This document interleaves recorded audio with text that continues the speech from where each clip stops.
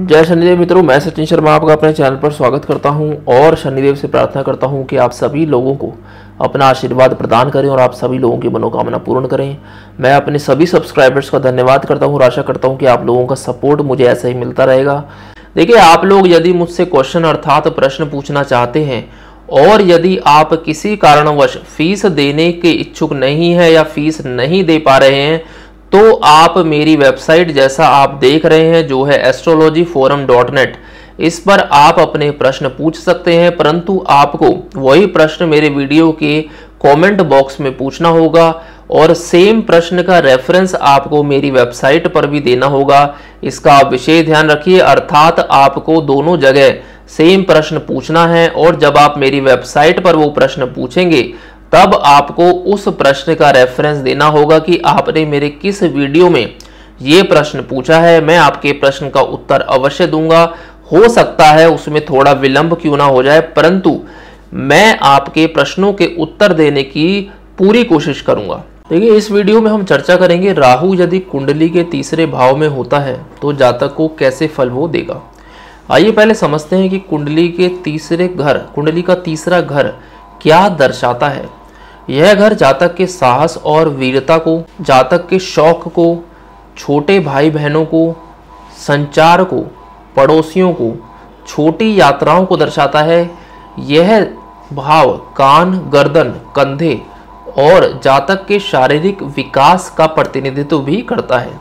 आपने ये बहुत बार देखा होगा कि कुछ लोग बहुत ही साहसी होते हैं और किसी भी परिस्थिति से नहीं डरते हैं और इसके विपरीत कुछ बहुत ही डरपोक किस्म के व्यक्तित्व होते हैं।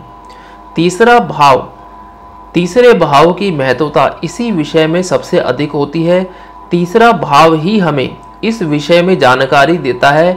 इस वीडियो को मैंने दो सेक्शन में बांटा है। पहले सेक्शन में हम चर्चा करेंगे राहु महादशा जब जातक पर 14 से 18 वर्ष की आयु में आती है और तीसरे भाव का स्वामी, कौन सा ग्रह है? इन दोनों कॉम्बिनेशन को हम अपने पहले सेक्शन में डिस्कस करेंगे कि उसका जातक के जीवन पर क्या प्रभाव पड़ेगा।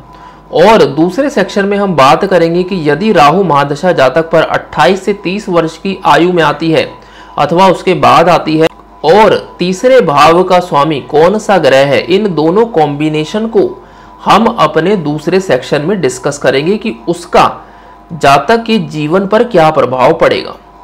देखिए, राहु महादशा जब जातक पर आती है तो मैं यहाँ आपको उसके कुछ इम्पैक्ट अर्थात जब राहु दशा जातक पर शुरू होगी तो जातक को क्या महसूस होगा? जातक कैसा बिहेव अर्थात आचरण करेगा? जातक अपने कैरियर को लेकर क्या सोचेगा? इत्यादि बातों के विषय में हम यहाँ चर्चा करेंगे। देखिए, यदि राहु महादशा जातक पर आती है, और राहु कुंडली के तीसरे भाव में है, चाहे वो किसी भी भाव के स्वामी के साथ हो तो अभी मैं आपको बताऊँगा कि उसका असर प्रत्येक जातक पर कैसा होगा। और बाद में हम विस्तार पूर्वक चर्चा करेंगे कि किस भाव के स्वामी के साथ वो कैसा परिणाम आपको देगा। तो यहाँ पर राहु जातक का मन बहुत अशांत कर देगा। ऐसे जातक को जो रिस्क टेकिंग कैपेबिलिटी है, वो बहुत अधिक बढ़ जाएगी, वो किसी भी परिस्थिति से नहीं घबराएगा, नहीं डरेगा। वो बहुत अधिक डायरेक्शंस में, अर्थात दिशाओं में यहाँ सोचना प्रारंभ कर देगा। वो हमेशा पैसा कैसे कमाना है उसके बारे में सोचेगा। ये सब रिजल्ट्स कॉमन रिजल्ट्स हैं राहु की महादशा के। जब वो किसी भी भाव के स्वामी के साथ, अर्थात तीसरे भाव में यदि कोई सा भी ग्रह तीसरे भाव का स्वामी है तो ये सब परिस्थितियाँ जो रहेंगी वो कॉमन रहेंगी। जातक को इन सब परिस्थितियों का सामना करना पड़ेगा। इस तरह के जातक जो होते हैं, साहसी होते हैं और किसी भी परिस्थिति में आसानी से हार नहीं मानते। इस तरह के जातक अपने विचारों को दूसरों के सामने स्पष्ट रूप से व्यक्त करते हैं। देखिए, यदि कोई स्टूडेंट है तो आपका मन पढ़ाई से यहाँ हट जाता है। आपको पढ़ाई करने में या बाधाएँ उत्पन्न हो सकती हैं। ऐसे लोगों का सूर्य और चंद्र की अंतर्दशा में अपने माता पिता के साथ तनाव बहुत अधिक बढ़ जाता है। अब आइए आगे बढ़ते हैं और बात करते हैं कि यदि राहु की महादशा जातक पर 14 से 18 वर्ष की आयु तक आती है, जिसका अर्थ यह हुआ कि यदि राहु महादशा जातक के जीवन में 32 से 36 वर्ष की आयु तक समाप्त हो जाती है तो उसका जातक के जीवन में क्या प्रभाव पड़ सकता है, क्या प्रभाव होगा? हम यह बात करेंगे कि यदि राहु की डिग्री 10 से 20 डिग्री के बीच है, और यदि आपकी कुंडली के तीसरे भाव में चार नंबर, पाँच नंबर, तीन नंबर या छः नंबर, नौ नंबर या बारह नंबर लिखा है। जैसा कि आप यहाँ देख रहे हैं तो राहु महादशा जातक का मन बहुत अधिक अशांत कर देती है और आपका दिमाग बहुत अधिक विचलित हो जाएगा। आपकी सोच बिल्कुल बदल जाएगी। जो आप पढ़ाई कर रहे हैं, यदि आप पढ़ाई कर रहे हैं, वो अचानक से छूट जाएगी। और आप पढ़ाई छोड़कर किसी और डायरेक्शन में, अर्थात किसी और दिशा में सोचने लगेंगे, चले जाएँगे। आपका मन बहुत अशांत रहेगा, आपकी कॉन्सेंट्रेट आपको कॉन्सेंट्रेट करने में बहुत परेशानियाँ हो सकती है, इसका विषय ध्यान रखिए। तो आइए आगे बढ़ते हैं और बात करते हैं कि यदि तीसरे भाव में एक नंबर या आठ नंबर लिखा है, जैसा कि आप देख रहे हैं, और वहाँ पर राहु जो है वो कुंडली के तीसरे भाव में है तो यहाँ जातक को क्या फल मिल सकते हैं? देखिए, हम राहु की महादशा की बात कर रहे हैं और हम बात कर रहे हैं जब राहु की डिग्री 10 से 20 डिग्री की है।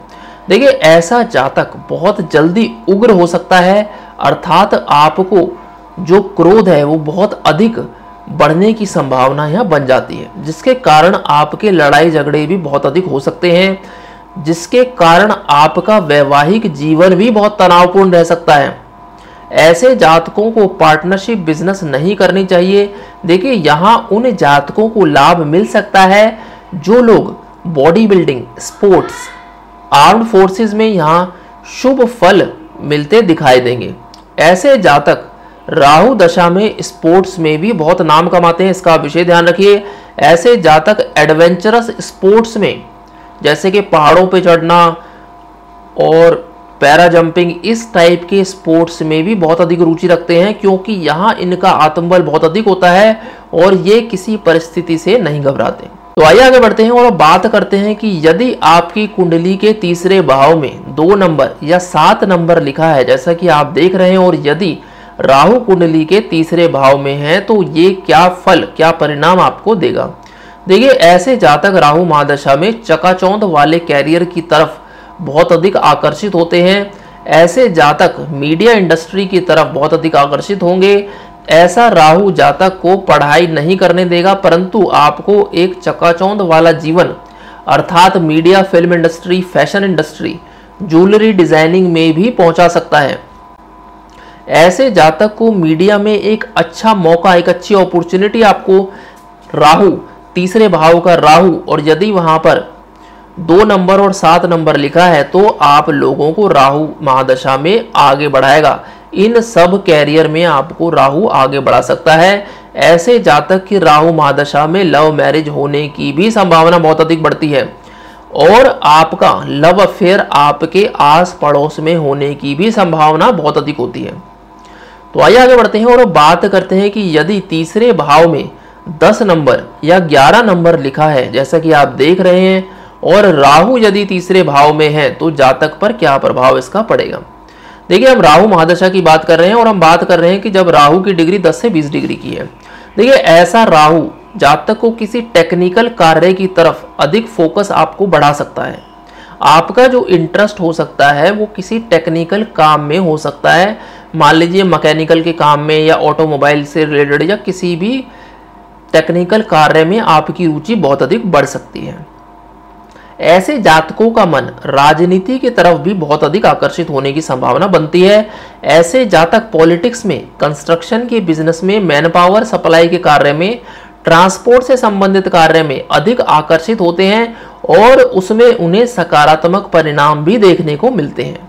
तो यदि राहु की डिग्री ज़ीरो से दस अथवा बीस से तीस डिग्री के बीच है तो ये नेगेटिव या पॉजिटिव अर्थात नकारात्मक और सकारात्मक परिणाम आपको थोड़े कम देखने को मिल सकते हैं। इसका विशेष ध्यान रखिए।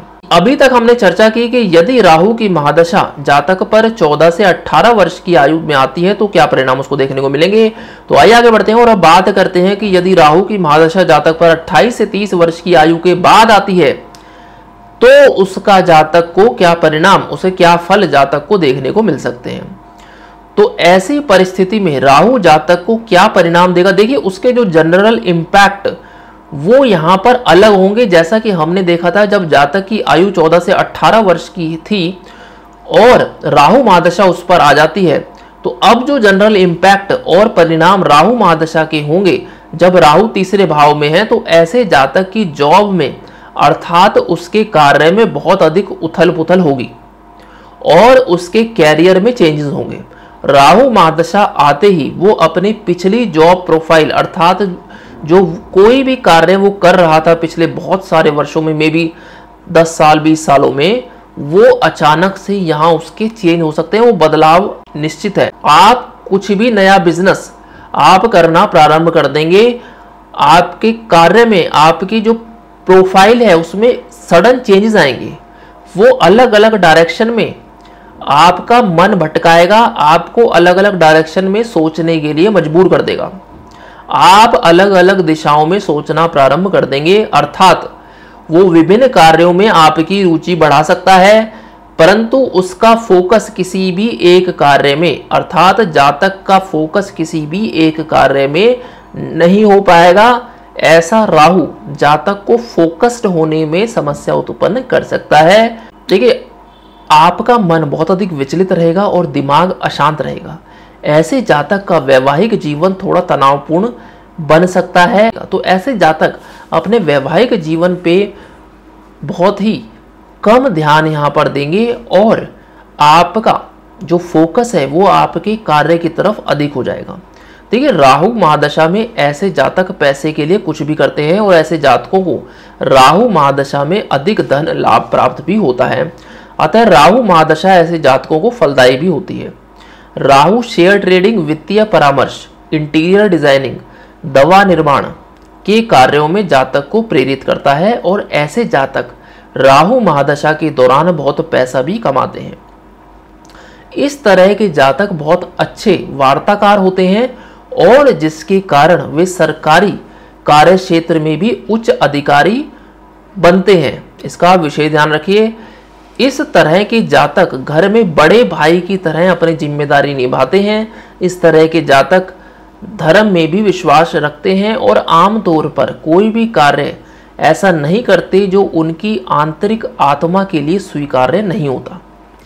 देखिए, अब आगे बढ़ते हैं और बात करते हैं कि यदि आपके तीसरे भाव में, आपकी कुंडली के तीसरे भाव में तीन नंबर, छह नंबर, नौ नंबर अथवा बारह नंबर लिखा है। जैसा कि आप देख रहे हैं तो ऐसे जातक राहु महादशा में कंसल्टिंग बिज़नेस में चले जाते हैं।